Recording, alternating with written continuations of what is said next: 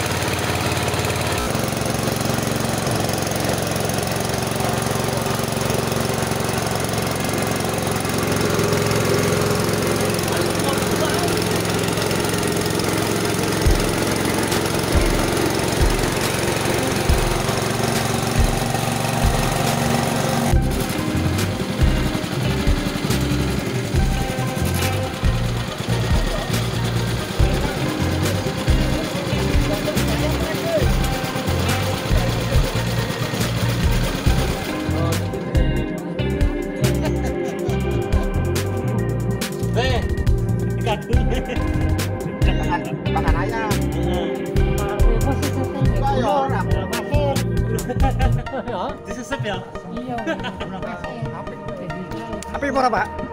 Lumayan cukup. Ya? Iya, segini mah ya bagus. Iya, sama aja dikasih. Oke. Dua kali. Kalau dua kali Pak Haji di angka dua atau angka tiga. Ya. Dua kali. Nah, kalau pengen sekali Sulit yang remuk. di lima. Tapi lihat hasil beras dulu. Iya. Iya hasilnya. Gitu. Nah, kalau hasil berasnya banyak yang patah, jangan dipaksain udah dua kali aja. Karena posisi berarti kalau banyak yang patah itu alhasil bahannya semi tidak kering. Nah, itu itu. Nah, ini untuk masalah setelan ini peretannya di sini. Nah, masalah Ya kalau mau kedua berarti ya pokoknya patokannya antara 3 sama 2 nah pokoknya ini kita kan glosor kan pertama di angka 2 atau angka 3 Iya. nah jadiin ditambahin di angka 4 atau angka berapa. Lihat Heeh. hasilnya lah. ya pokoknya ini tuh buat ini aja. Yang penting kita cek di hasil beras. Iya hasil berasnya kayak begini putar lagi kalau iya iya ini kan makan bensin. Itu kalau misalnya sekalian nyelip sekalian dedak yang agak kasar masukin sini lagi kan jadi kan sekaligus langsung.